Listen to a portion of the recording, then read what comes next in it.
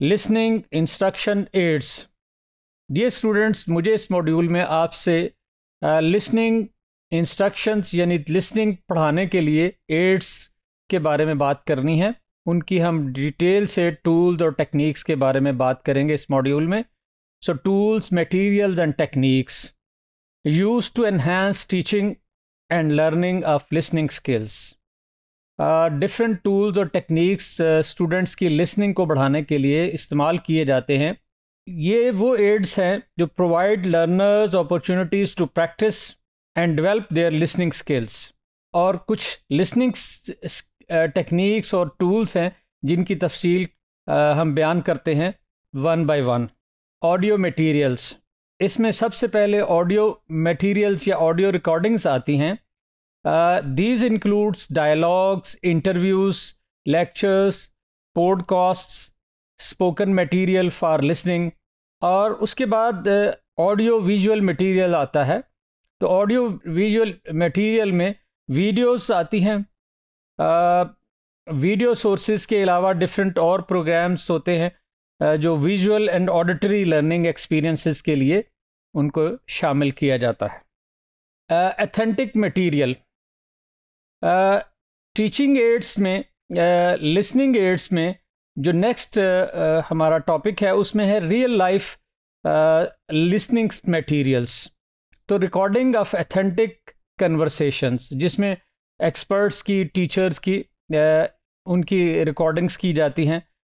New broadcast songs movies TV shows और इस तरह की और दूसरी चीज़ें हैं जिनको हम रिकॉर्ड करते हैं और वो बच्चों के लिए प्रेजेंट की जाती हैं।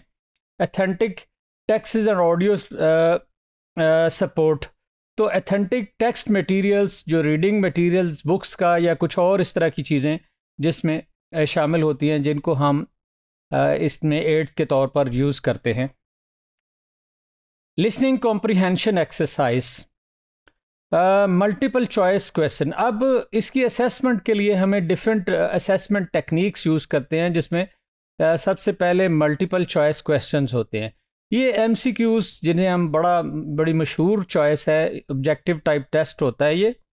जिसमें कॉम्प्रीहेंशन के लिए हम जो बच्चों ने मटेरियल सुना होता है, उसमें से मटेरियल लेकर इसमें से इसके क्वेश्चंस मल्टीपल ऑप्शंस पर बेस एक उसमें स्टेम होता है और दूसरे उसकी ऑप्शंस होती हैं। तो उनमें से एक करेक्ट होती है और बाकी जो उसमें वही सिलेक्ट करनी होती है। फिर गैप फिल एक्सरसाइज।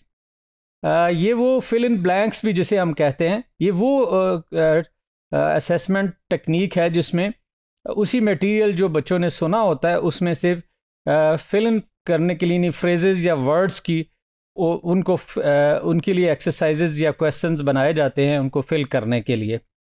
नेक्स्ट है true false or matching activities तो इसकी तीसरी बड़ी अहम किस्म जो है, वो है ट्रू फॉल्स या मैचिंग एक्सरसाइज। मैचिंग एक्सरसाइज में ये होता है कि इसमें दो कॉलम्स होते हैं, जिनमें स्टेटमेंट्स को हमने करेक्ट ऑर्डर के तहत या जो एक कॉलम की आइटम दूसरे कॉलम में मैच कर रही होती है, उसके साथ उसको मिलाना होता है।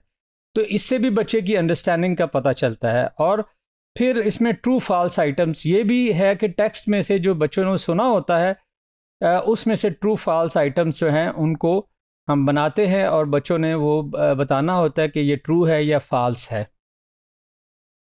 विजुअल एड्स में पिक्चर्स इमेजेस और चार्ट्स तो ये ये वो विजुअल एड्स हैं जो लिसनिंग की, के टास्क होते हैं लिसनिंग के स्किल्स बढ़ाने के लिए।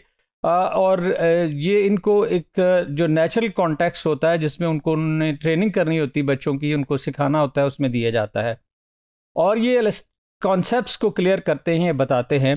फिर ग्राफिक ऑर्गेनाइजर्स हैं, जिसमें ऑर्गेनाइज करने वाली टूल्स हैं। ये लर्नर्स विजुअली विजुअल को उनको ऑर्गेनाइज करने के लिए हम इनको तरतीब देते हैं। और understand the information they hear तो बच्चे जो इंफॉर्मेशन उनके सामने रखी जाती है ताकि वो उसको अंडरस्टैंड करें और उसको समझें। Technology based ads. नेक्स्ट इसके जो अहम टूल्स हैं या एड्स हैं, वो हैं technology based. So learning language learning apps mobile applications हैं मोबाइल पे या आप कंप्यूटर्स पे इसमें डिफरेंट एड्स है। ऐप्स हैं जो बच्चों की ट्रेनिंग करती हैं, उनको एक्सरसाइजेस कराती हैं। फिर ये इंटरेक्टिव एक्टिविटीज़ होती है एंड ऑडियो रिसोर्स होते हैं। नेक्स्ट ऑनलाइन प्लेटफॉर्म्स वेबसाइट पर दूसरे ऑनलाइन प्लेटफॉर्म्स होते हैं जिसमें बच्चे इंटरेक्ट करते हैं या नेटिव स्पीकर से वो बातचीत करके वो उनसे सीखते हैं। और इससे उनको प्रैक्टिस और असेसमेंट की अपॉर्चुनिटीज़ फ्राहम की जाती हैं नेक्स्ट इसमें एड है रोल प्लेइंग एंड सिमुलेशन ये बहुत ही इंपॉर्टेंट है, बच्चों को एक नेचुरल सिचुएशन में उनको रोल प्लेइंग या मुख्तलिफ़ रोल्स फ्राहम करके टीचर स्टूडेंट का रोल या कोई और वो तो आपस में वो रोल टेक करते हैं और आपस में बातचीत करते हैं जिससे उनको एक वो लर्निंग की और लिसनिंग की प्रैक्टिस करते हैं। और ये इंटरेक्शन भी होता है दो लोगों के दौरान।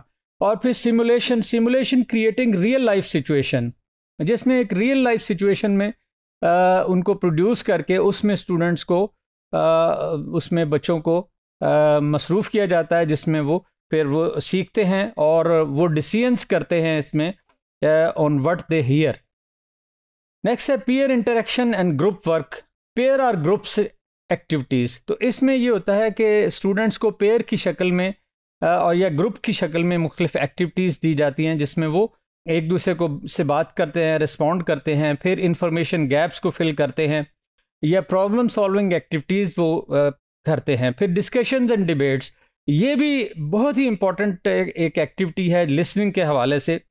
इसमें लर्नर्स को इंगेज किया जाता है इन कन्वर्सेशन और डिबेट्स में और they require active listening and responding to different view points तो ये जो ये एड्स जी हैं जो नेक्स्ट हम देखते हैं टीचर लेड एक्टिविटीज़ टीचर की रहनमाई में कौन सी बच्चे एक्टिविटीज़ करते हैं?